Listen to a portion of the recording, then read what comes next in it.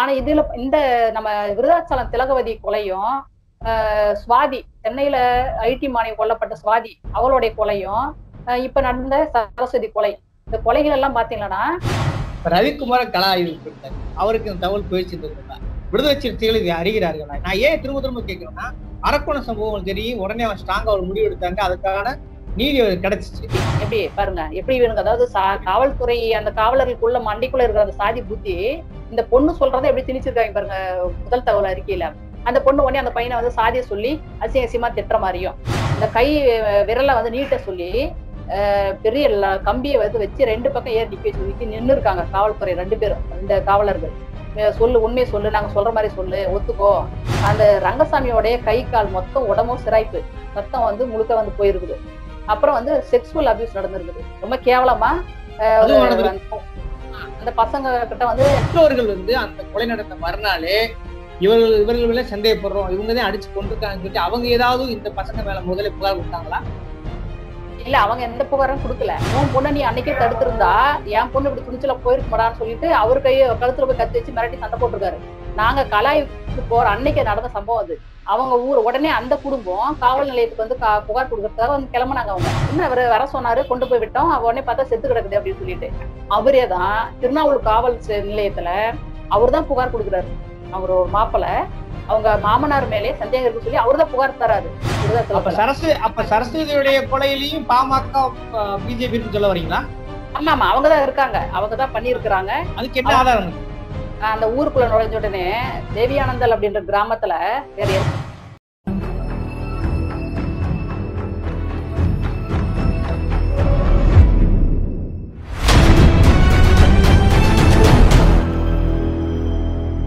அறக்கழகம் பார்வையாளருக்கு வணக்கம். இன்னைக்கு நம்ம சந்திக்கிற மிக முக்கியமான இயக்க செயல்பாட்டாளர் தோழர் சாதி ஒழிப்பு முன்னணியின் ரமணி அவர்கள். தோழர் வணக்கம் தோழர். வணக்கம் தோழர் வணக்கம். மிக முக்கியமாக பெரும் பேசும் பொருளா என்னன்னாக்க ஒரு. நீங்க களத்துல நீங்க போயிருக்கும்போது உண்மை அறியும் குழுவா நீங்க போயிருக்கும்போது அது அப்படி அல்ல. அது ஒரு ஆணவ படுகொலைங்கிற மாதிரியான சாட்சியங்கள் தற்போது வெளியாகிறது இது என்ன ஆச்சரியமான விஷயம்னாக்க உண்மையிலேயே அவர்கள் அப்படி செய்திருந்தால் திருமாவளவன் உட்பட எல்லாருமே அதை கண்டனம் தெரிவிச்சிருந்தாங்க அது அப்படித்தான் எல்லோருமே பார்த்த பார்வை இருந்தது. ஆனா இப்பொழுதுதான் என்ன சொல்றீங்க அந்த அந்த கள நிலவரமே வேற மாதிரி இருக்குது. உண்மையிலேயே அங்க நடந்தது என்ன? தேவையானதில் நடந்திருப்பது உண்மையிலேயே கொலையா ஆணவ படுகொலையா? உன் கள ஆய்வு என்னது? சரஸ்வதி படுகொலை அது நிச்சயம் வந்து ஆணவ கொலையாக இருப்பதற்கு அதிகம் வாய்ப்பு இருக்கிறது. அது காதலிக்க மறுத்ததால் மூன்று இளைஞர்களோடது வலுக்கட்டாயமாக கொலை செய்தார்கள் என்பது மிக தவறான ஒரு செய்தி என்பதுதான் நாங்கள் களத்தில் கண்டறிந்த உண்மை. இருவரும் க- ரங்கசாமியும் சரஸ்வதியும் ஐந்தாண்டுகளாக காதலித்தார்கள். இருவரும் வெளியேறி இருக்கிறார்கள் அஹ், வீட்டு வீட்டினுடைய கட்டாயத்தை மீறி வந்து வாழ்வதற்கு முயற்சித்திருக்கிறார்கள் என்பதுதான் களத்தில் கிடைத்த உண்மை. ஒரு கொலை நடந்த உடனேயே செய்தித்தாள்ல வரக்கூடிய செய்திகளை வச்சு மட்டுமே எல்லாரும் பொது சமூகம் வந்து நம்புறது மாதிரி இருக்குது அது. அது பல வழக்குல வந்து நம்ம பார்க்க முடியும். பல கேசஸ்ல அதே மாதிரிதான் சரஸ்வதியோடைய படுகொலையிலையும் எடுத்த உடனேயே மூன்று இளைஞர்களால் காதலிக்க மறுத்ததால் கொலை அப்படின்ற செய்தி தான் வந்து வெளியில் வந்தது. இது எல்லாருமே வந்து இயல்பாவே பெண்கள் மீதான வன்முறை அதிகமா நடக்கிறதுனால ஆசிட் அட்டாக்கு பாலியல் பலாத்காரங்கள் கொலைகள் வந்து சிலது நடக்கிறதுனால இதையும் வந்து அந்த மாதிரி இருக்க வாய்ப்பு இருக்குன்னு சொல்லி எல்லாரும் வந்து நம்புற மாதிரி இருந்தது. செய்திகள் அப்படிதான் வந்து கொடுக்கப்பட்டது. ஆனா அது திட்டமிட்டு கொடுக்கப்பட்ட செய்தி அப்படின்றது கள நிலவரத்தை வந்து நாங்க தெரிஞ்சுக்கிட்டோம். எந்த ஒரு கொலைகள் நடந்தாலும் குறிப்பா இந்த மாதிரி பெண்கள் கொல்லப்படுறது அதுல வந்து தலித் இளைஞர்கள் அதுல வந்து பலியாக்கப்படுறதுன்றது நடந்ததுன்னா உடனடியாக வந்து அதுல வந்து ஆய்வுக்கு உட்படுத்தணும் அப்படின்றதுதான் நாங்க இந்த களத்தை தெரிஞ்சுக்கிட்ட மிக உண்மையான ஒண்ணு. களத்துக்கு நேரடியாக விடுதலை ரவிக்குமார் போயிருக்காரு பிஜேபி சார்ந்த கூட போயிருக்காங்க. அவங்கெல்லாம் இப்படியான ஒரு மாற்றுப்பதிவு செய்யவே இல்லை இல்லையா? அதுக்கான காரணம் என்ன? நீங்க நீங்க சொல்லக்கூடிய தகவல் வேற மாதிரி இருக்கு. அவங்க இது சம்பந்தம் எந்த ரியாக்ஷன் பண்ணலையே? இது எப்படி புரிஞ்சுக்கிறது பொது சமூகம்? அதுதான் ஒரு முதன் முதல்ல சரஸ்வதி அப்படின்ற ஒரு பெண் படுகொலை செய்யப்பட்டது. எல்லாருக்கும் வந்து மிகவும் ஒரு வருத்தத்தை ஏற்படுத்தக்கூடியது. ஒரு உயிர் வந்து கொல்லப்பட்டிருக்குது. அது எல்லாருக்கும் வந்து ஒரு துயரமான ஒரு சம்பவம் தான். அவங்க குடு எப்படி நடந்திருந்தாலும் மர்மமான முறையில் அது கொல்லப்பட்டிருந்தாலும் அது ஒரு உயிர் கொல்லப்பட்டிருக்குது அப்படின்றது எல்லாருக்குமே ஒரு அனுதாபத்தையும் ஒரு துயரத்தையும் இல்ல இதுல யாருக்கு இதுல யாருக்கு இதுல யாருக்கும் மாற்று கருத்து இருக்க முடியாது. ஒரு பெண் கொலை செய்யப்பட்டிருக்கா எந்த விதத்துல செய்ய மாற்று கருத்து இல்லை. ஆனால் அங்க நடந்த சம்பவம் உண்மை எதுங்கிற ஒரு கோணத்துல பார்க்கும்பொழுது அது யார் தண்டிக்கப்பட வேண்டிய கேள்வி வரும்போது நம்ம யோசிக்க வேண்டியிருக்கு ஆமா ஆமா கட்டாயம் கட்டாயம் தான். கட்டாயம் வந்து இது போன்ற கொலைகள் வந்து தொடர்ந்து இப்ப வந்து நடந்துட்டு இருக்குது. அண்மையில வந்து நடந்த இன்னொரு கொலைகள் கூட வந்து பாத்தீங்கன்னா விருதாச்சலத்துல வந்து திலகவதி அப்படின்ற ஒரு கல்லூரி மாணவி பத்தொன்பது வயது கொண்ட கல்லூரி மாணவி இதே போலதான் காதலித்த இளைஞன் வந்து தலித் சமூகத்தை சேர்ந்தவன் குறிப்பா பறையர் சமூகத்தை சேர்ந்தவன். இவங்க ரெண்டு பேரும் வந்து ஒற்றுமையா இருந்தாங்க. குடும்பத்துல வந்து எந்த ஒரு தடையும் கிடையாது. ரெண்டு குடும்பமும் பார்த்தீங்கன்னா வந்து ரொம்ப ஏழ்மையான குடும்பம். அவங்க வந்து அந்த சாதி கடத்ததான வந்து ஒரு அந்த வர்க்க உறவுகளா அவங்க வந்து ஒரு குடும்பம் குடும்பம் வந்து பாத்துக்கிறது பேசிக்கிறது அப்படின்றது இயல்பா தான் இருந்தாங்க. இந்த சாதி கடந்து அந்த குடும்பங்களை கடந்து அங்க வந்து சாதிய சங்கங்களாலையும் வெளியில இருக்கக்கூடிய குறிப்பா வந்து பாமக பிஜேபி இந்து முன்னணி இந்து முன்னணி போன்ற இந்த மாதிரி இந்து மதவெறி சாதி அமைப்புகளுடைய பங்கேற்புல அந்த பெண் வந்து கொல்லப்பட்டாள். திலகவதி அப்படின்ற ஒரு கல்லூரி மாணவி அஹ், கடந்த ரெண்டாயிரத்தி பத்தொன்பதாம் ஆண்டு இதே மாதத்தில் மே மாதத்திலே வந்து கொடூரமா வந்து மதிய வேலையில வந்து கொல்லப்பட்டான் ஆனா பாத்தீங்கன்னா அந்த செய்தி வந்து வெளியில வரவே இல்லை. அது கூட எப்படி வந்ததுன்னா காதலித்த இளைஞன் ஆகாஷ் அவன் பேரு அந்த தம்பி பேரு அவன் வந்து காதலை ஒருதலை காதலால் கொலை அப்படின்றதுதான் உடனடியாக இரவோடு இரவாக அவனுடைய வீடியோ வாக்குமூலம் வெளியே வந்தது. காலையிலேயே வந்து அத்தனை செய்தித்தாள்லயும் வந்து காதலிக்க மறுத்ததால் ஒருதலை காதலால் கொலை அப்படின்ற செய்தி வந்தது. இப்ப இதுக்கு பின்னாடி இருக்கக்கூடிய உம் அந்த அப்பவும் என்ன செஞ்சாங்கன்னா பொது சமூகம் வந்து எல்லாரும் நம்பினாங்க. பொது சமூகம் அந்த செய்தித்தாள வந்த செய்தியை வச்சு காவல்துறை வந்து பக்கா வந்து இதுல பிளான் பண்ணி தான் பண்ணியிருக்கிறாங்க. காவல்துறை வந்து அந்த பையனுடைய கிட்ட வாக்குமூலத்தை வாங்கி வீடியோ வந்து உடனடியா வெளியிட்டாங்க. எதுக்கு அப்படின்னா உண்மை குற்றவாளிகள் மறைக்கப்பட்டு சாதி சங்கங்களும் இந்த மதவெறி சாதி வெறி அமைப்புகள் வந்து மறைக்கப்பட்டு காப்பாற்றப்பட்டு அப்பாவி அந்த இளைஞன் வந்து காதலித்தவனை விரும்பியவனையே பலியாக்குச்சு. இதுல வந்து முக்கியமா வந்து அவனுடைய அதோடைய பங்கு வந்து மிக முக்கியமானது. அது மறைக்கப்பட்டுருச்சு. அதே போலதான் சரஸ்வதியோட படுகொலையும் யாருக்கும் எந்த சந்தேகமும் வரல. யாருக்கும் எந்த கேள்வியும் எழுப்பல. அதனால என்ன செஞ்சாங்கன்னா பெண்கள் மீது இயல்பா அங்கங்க வந்து வன்முறை நடக்கிறதுனால தாக்குதல் நடக்கிறதுனால இதுவும் வந்து அந்த மாதிரி இருக்குமோன்னு சொல்லிதான் எல்லா கட்சிகளும் தலைவர்களும் இயக்கங்களும் போய் வந்து பார்த்தாங்க. அது வந்து தப்பு இல்ல பார்த்தது. ஆனா அதுக்கு பின்னாடி நாம போய் ஒரு உண்மையை வந்து பாக்குறோம் இல்ல உண்மையே வந்து ஏதோ சந்தேகம் இருக்குது அப்படின்னு சொல்லி யோசிச்சுதான் நம்ம போறோம். ஏன்னா ஏற்கனவே நான் திலகவதி விருதாச்சலம் திலகவதியோடைய படுகொலைக்கு நான் வந்து கலாய்வுக்கு போயிருக்கிறேன். எங்க அமைப்பு சார்பா நாங்க போயிருக்கிறோம். போய் பார்த்த பின்னாடி தான் அது வந்து அப்பட்டமா திட்டமிட்டு செய்யப்பட்ட கொலை அப்படின்னு சொல்லி ஆணவ கொலைன்னு சொல்லி தெரிஞ்சுது. அப்ப இதே போல அந்த பையனை எப்படி பலியாக்கி இருக்காங்களோ அதே போல சரஸ்வதியிலும் இருக்கு வாய்ப்பு இருக்குது அப்படின்னு சொல்லி யோசிச்சுதான் நாங்க வந்து போனோமே. கலாய்வுக்கு. நான் முன்னே எல்லாரும் முகநூல்ல வந்து நீங்க முன்னாடியே போட்டீங்க. சில சாதிய தேசியவாதிகள் எல்லாம் சில பேர் வந்து விமர்சனம் பண்ணாங்க. நீங்க வந்து முன்னாடியே இது சரஸ்வதியோடைய கொலை வந்து ஆணவ கொலைன்னு சொல்லி முன்னாடியே நீங்க வந்து முகநூல் பதிவுல வந்து உங்களோட பக்கத்துல போட்டு தான் நீங்க போனீங்க. முன் அனுமானத்துல இருந்து உங்களோட கலாய்வு தொடர்னேன்னு சொன்னாங்க. ஆமா அந்த முன் அனுமானம் அப்படின்றது எப்படி வந்ததுன்னா இந்த சாதி அமைப்புகள் ஏற்கனவே வந்து திட்டமிட்டு ஆணவ கொலை செய்திருக்காங்க இல்லைங்களா?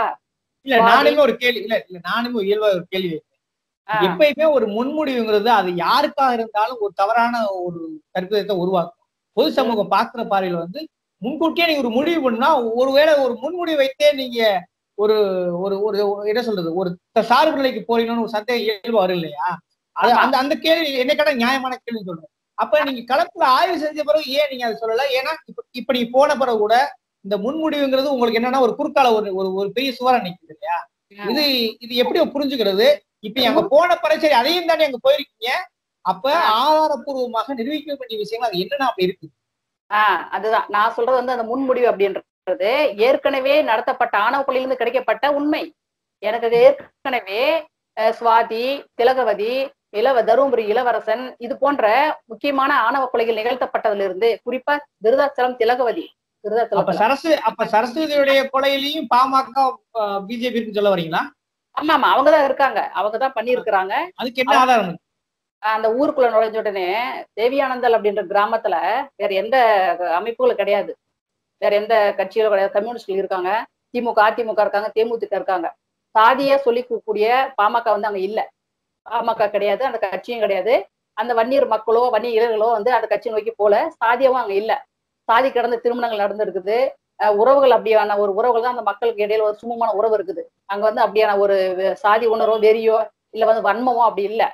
அதனால அதாவது அந்த கல நிலவரத்துல இருந்து நான் வந்து சொல்ல வரேன். அப்படி இருக்கும்போது இப்பதான் ஒரே ஒரு நபர் பாமக கொடியை வந்து ஏத்திருக்காரு. அந்த ஊர் கட்டுப்பாடு வந்து என்னன்னா இந்த மாதிரியான சாதி கட்சியோட கொடி ஏத்தக்கூடாதுன்னு சொல்லி அந்த ஊர் கட்டுப்பாடாம்.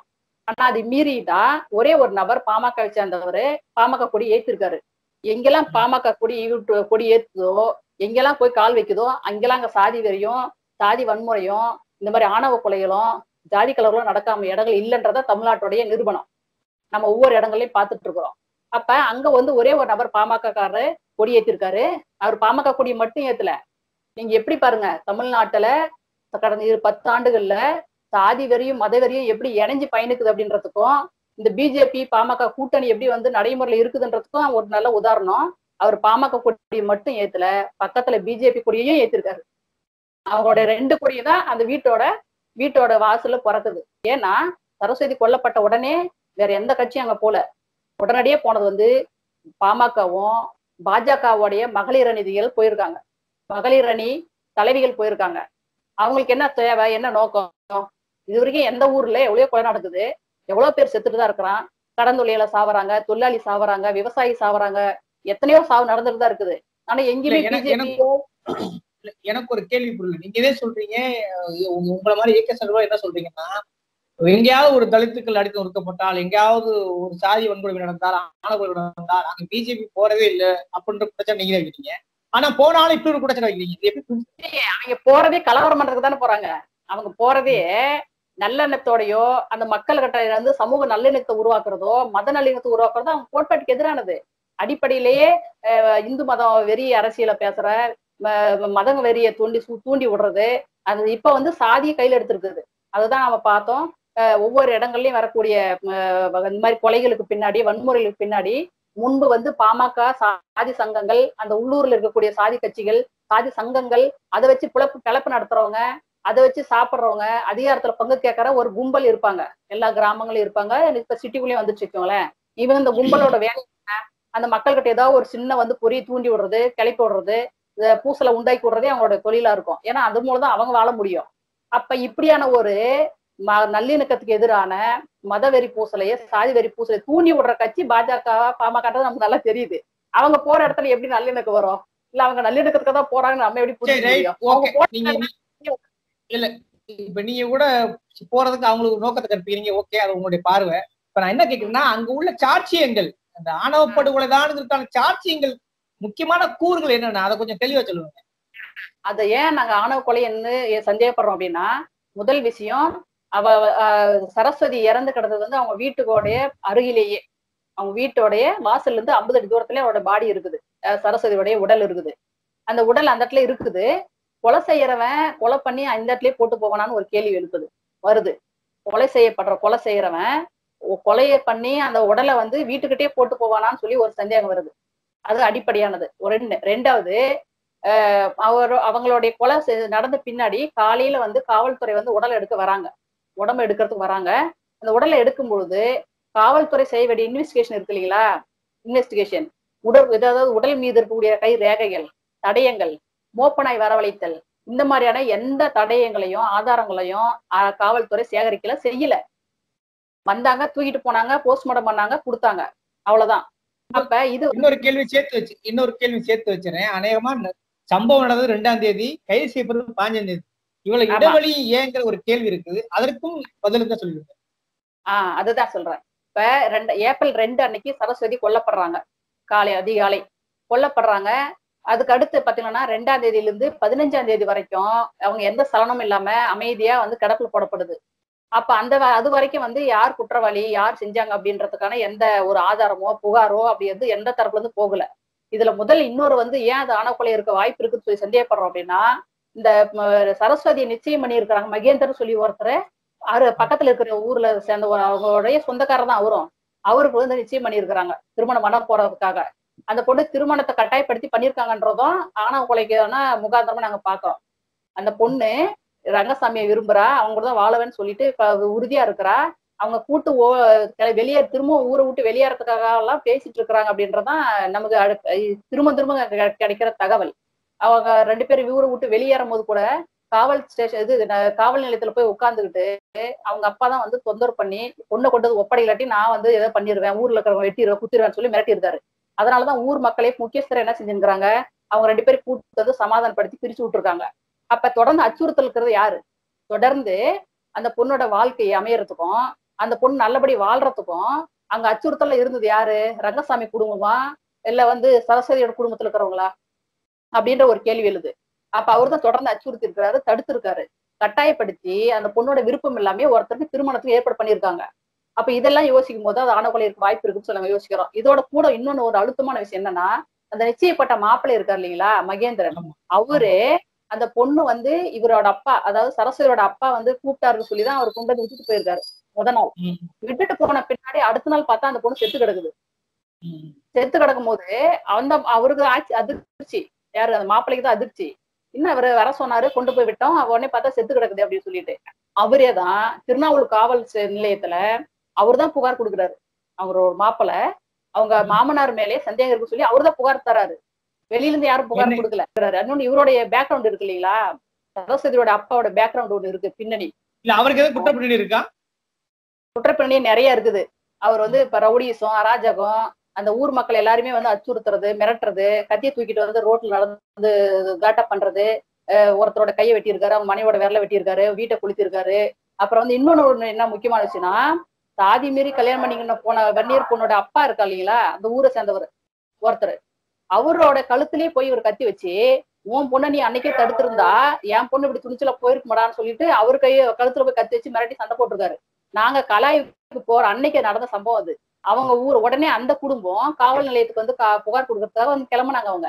நாங்க போய் விசாரிச்சுட்டு இருக்கும் போது எங்களுக்கு வந்து கிடைச்ச தகவல் அது. அப்புறம் உடனே ஊருக்காரங்களே பேசி இந்த பிரச்சனை போயிட்டு இருக்கும்போது இதை வந்து புதுசா வந்து ஒண்ணு போய் நம்ம ஸ்டேஷன்ல கொண்டு போக வேண்டாம்.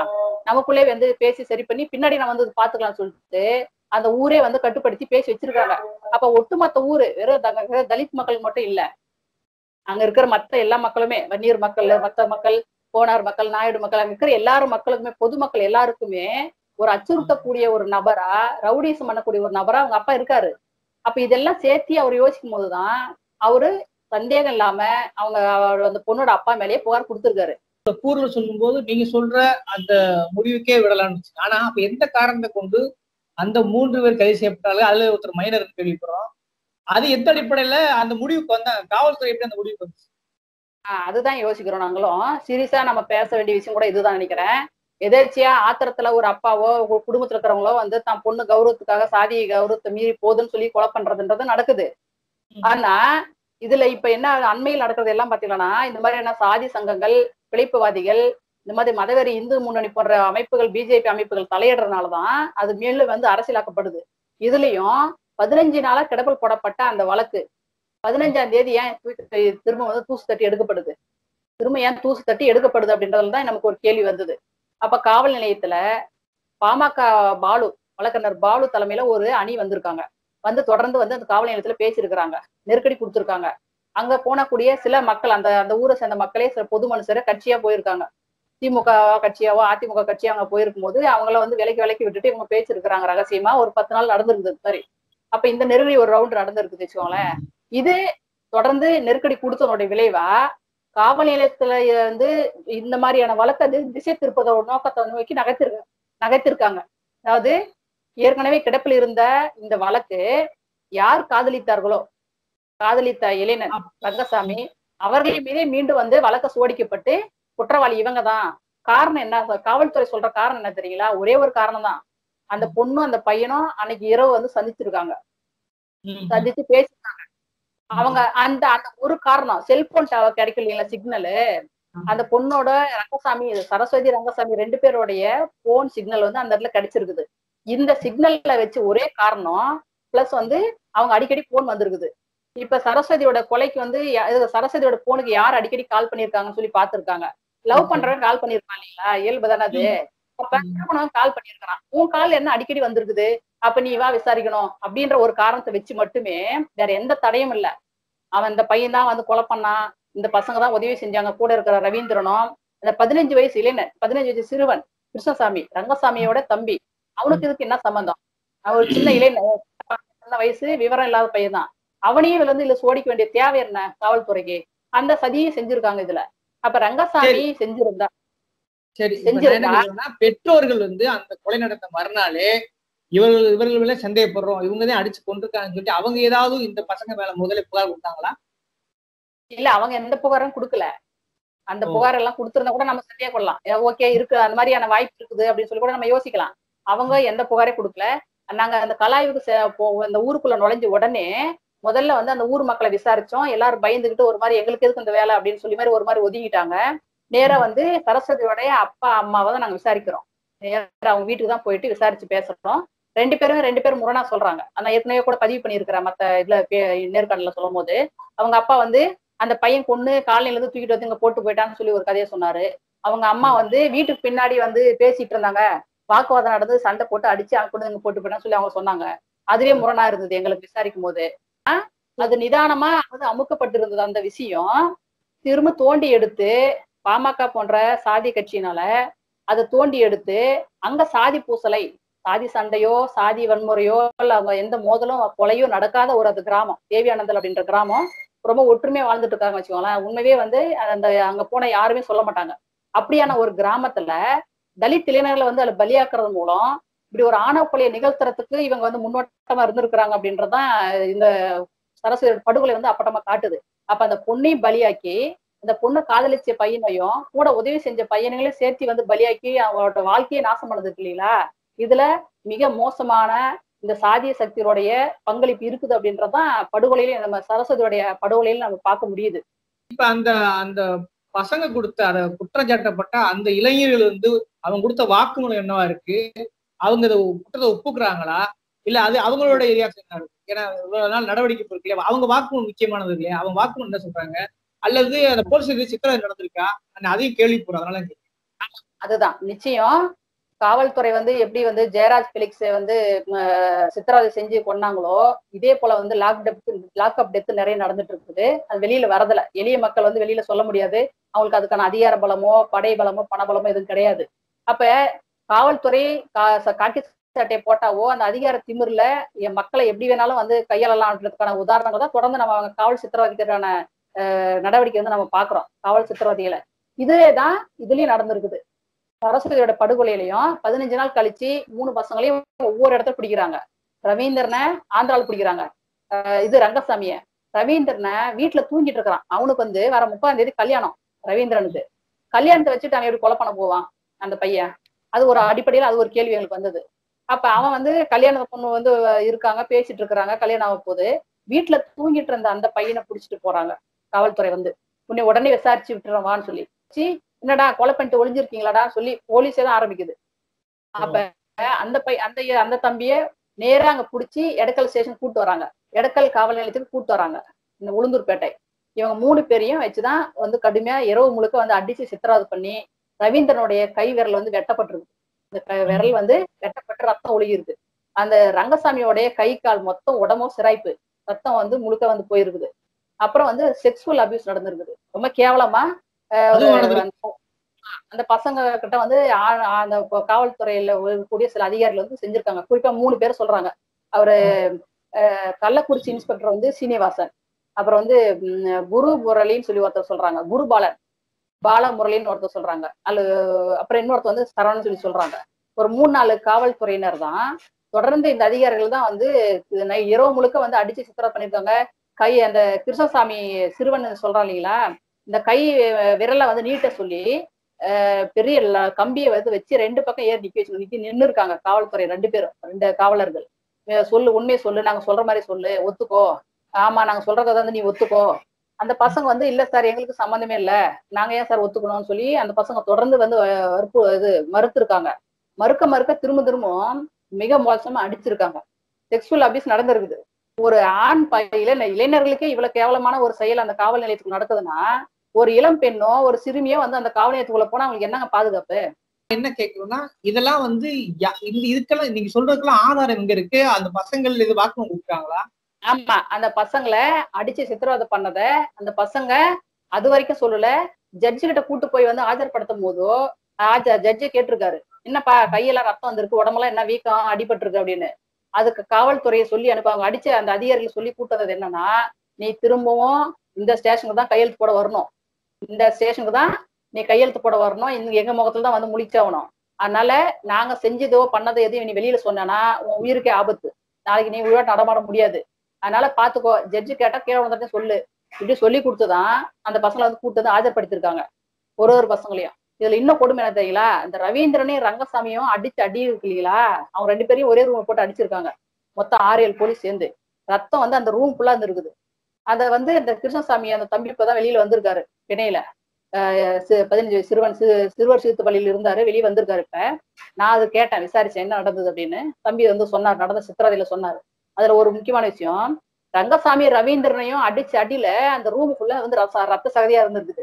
இந்த தம்பி விடியகால இந்த தம்பி கிட்ட பக்கெட்டின் துணி தண்ணி எல்லாம் தூக்கி கா- அதே அடிச்சவங்களே அடிச்ச காவலர்களே கையில வந்து கொடுத்து அந்த ரூம் எல்லாம் ஃபுல்லா க்ளீன் பண்ணு ஃபுல்லா ரத்தமா இருக்குது போய் க்ளீன் பண்ணு சொல்லிட்டு அவன் தான் கொடுத்து அந்த பையனை க்ளீன்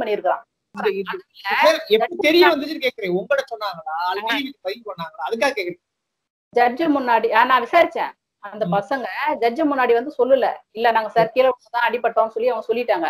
ஆனா அதுக்கு பின்னாடி அவங்க அப்பா அம்மா வந்து கோர்ட்டுல வந்து ஆஜர்படுத்தும் போது போய் பார்த்துருக்குறாங்க நீதிமன்றத்துக்கு வந்து அழைச்சிட்டு வர வழியில பதினஞ்சு நாள்ல காவல்ல அவங்கள வந்து அழைச்சிட்டு வரும்போது அவங்க குடும்பத்துல இருக்கிறவங்க போய் வந்து விசாரிச்சிருக்காங்க என்னடா பண்ணியாடா? என்னடா செஞ்சீங்க? என்னடா பண்றீங்க? என்னடா சொல்லி கேட்கும்போது மொத்த நடந்த மொத்த சம்பவத்தையும் அந்த பசங்க கொட்டியிருக்காங்க. அங்க நடந்த துன்பம்? யாருகிட்ட? அவங்க பெற்றோர்கள் கிட்ட பெற்றோர் ஓகே, ஓகே. அவங்க சொல்லிருக்காங்களா? அவங்க தான் வந்து என்கிட்ட சொல்றாங்க. அப்பதான் வந்து அப்ப அது வந்து இன்னும் வந்து இப்ப கிருஷ்ணசாமி வெளியே வந்துங்கிற அந்த சிறுவன் இருக்கா இல்லைங்களா? அந்த தம்பி கிட்ட இப்ப நான் ஃபுல்லா கேட்கும் போது அதை உண்மைன்றது அப்படியே அப்ப நிரூபணம் ஆகுது இப்ப அவ்வளவு கொடுமை பண்ணதை நாங்க இல்லப்பா. அதாவது அந்த பொண்ணு நானும் சந்திச்சுக்கிட்டோம். ஆனா வந்து அவங்க அப்பா அடிக்க வந்தாரு ராடு எடுத்து. அந்த பொண்ணு காலை வந்து அடிச்சாரு. என்னை சட்டை பிடிச்சு உதிம்பி இழுத்தாரு. நான் என் சட்டை பிடிச்சு அடிச்சாரு கிழிஞ்சிச்சு. நான் ஓடி வந்துட்டேன். உதிம்பிட்டு கொல்லுவானெல்லாம் எதிர்பார்க்கலப்பா. இப்ப என்னன்னா இப்ப அவங்க மேல அந்த பசங்க மேல என்ன பிரிவுல வழக்கு பதிவு செய்யப்பட்டிருக்கு இப்ப அதோட நிலைமை என்ன? கொலை வழக்கு தான் நான் கொலை செஞ்சதை தான் காதலிக்க மறுத்ததால் கொலை அப்படின்றத பதிவு பண்ணிக்கிறாங்க. த்ரீ நாட் டூ போட்டிருக்காங்க. மூணு பேர் சேர்ந்து கும்பலா வந்து கொலை பண்ணாங்க அப்படின்றத போட்டிருக்காங்க. கூட்டா சேர்ந்து சதி பண்ணி கொலை பண்ணாங்க. கற்- கற்பழிப்பது சேர்க்கப்பட்டிருக்கா? இல்ல இல்ல அந்த மாதிரி இல்ல. அந்த மாதிரி இல்ல.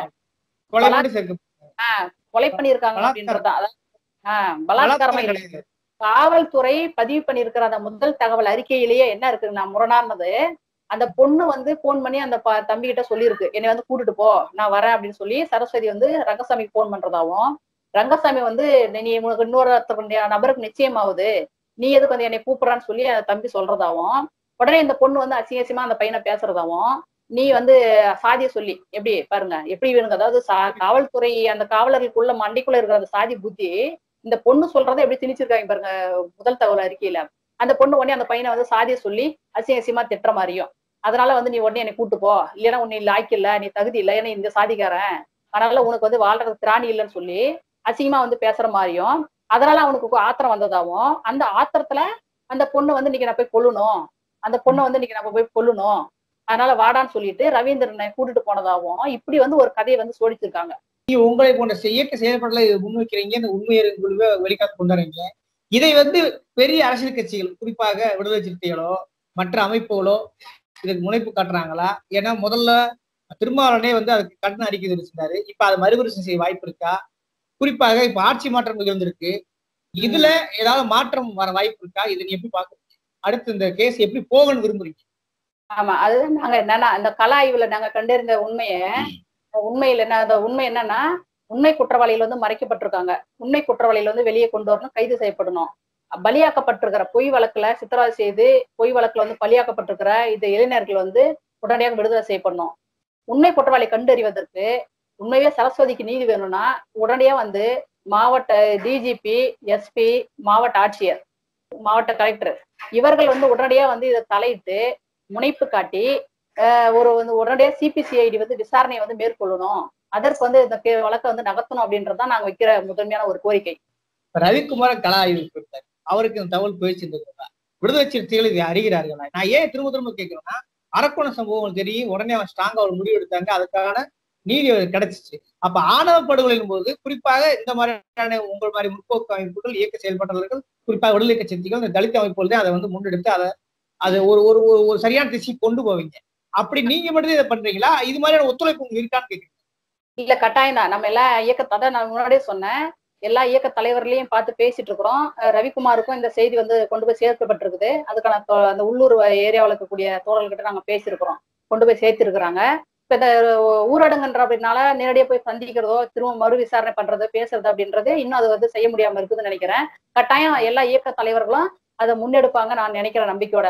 அது எடுத்தா மட்டும்தான் இது போன்ற வந்து மர்மமா நடக்கிற இந்த மாதிரியான கொலைகளுக்கு பின்னாடி இருக்கக்கூடிய சாதி சக்திகள் சாதி சங்கங்கள் மதவெறி அமைப்புகளுடைய உண்மை முகத்தை வந்து தோல் குறிச்சு வெளியில சமூகத்துக்கு காட்ட முடியும்.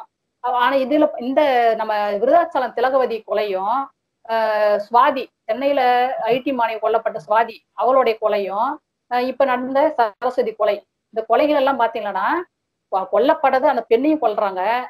அடுத்தது யார் காதலிச்சானோ யார் வந்து அதுக்கு உதவியா இருந்தானோ யார் வந்து அதுக்கு துணையா இருந்தாங்களோ அவங்களையும் சேர்த்து பலியாக்குறது வழக்குல அவங்களோட வாழ்க்கையை வந்து நாசம் பண்றது சீரழிக்கிறது அப்படின்றது சாதிய கும்பலோட சாதிய சக்திகளோட கை கோர்த்துக்கிண்டு காவல்துறை உள்ளூர் காவல்துறையே இந்த வேலையை செய்யறாங்க.